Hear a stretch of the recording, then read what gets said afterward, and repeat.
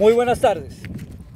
Desde aquí, en Necoclí, Antioquia, desde el puesto de mando de la operación Agamenón, en donde durante la mañana hemos estado con los miembros de la cúpula de nuestras fuerzas militares y de policía, queremos informarle a los colombianos de dos resultados operacionales fundamentales para combatir el narcotráfico y disminuir esas rentas ilícitas que tanto afectan alimentan la violencia en Colombia. En primer lugar, gracias a una operación conjunta, las fuerzas militares y de policía desarticularon una comisión de las disidencias de la FARC en Primavera Guaviare.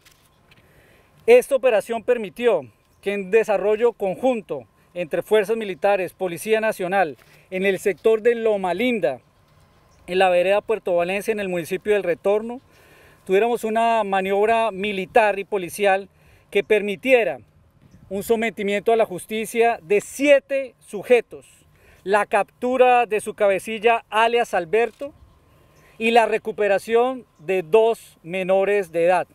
Ayer el mundo celebraba la lucha contra no permitir el reclutamiento forzado ilegal. Hoy nuestras fuerzas militares y de policía permiten la salvar a dos jóvenes que estaban en, ella, en las filas de esta banda criminal. Por supuesto, en esta operación se tienen resultados también en incautación de dos fusiles, cinco pistolas, una escopeta y abundante munición de diferentes calibres.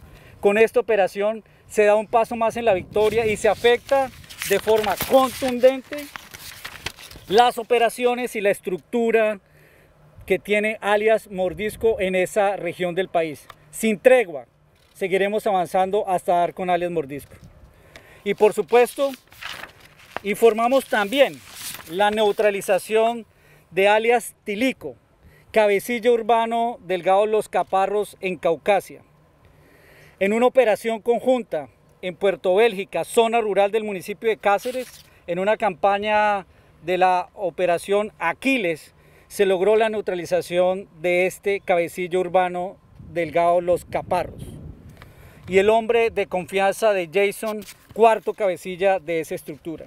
Este era un hombre que se encontraba indiciado por tener un proceso investigativo por delitos como concierto por porte ilegal de armas y homicidio, por tres hechos acaecidos en el municipio de Caucasia y que hace unos años había sido el que había perpetrado un ataque con una granada que afectó la vida de más de 30 ciudadanos en esta región.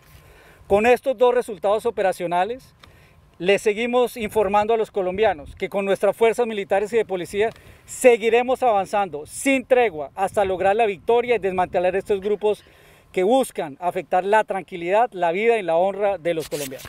Muchas gracias.